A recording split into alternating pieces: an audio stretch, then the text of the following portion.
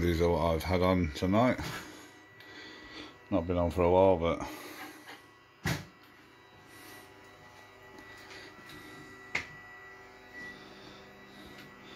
surprisingly they're all working nicely still.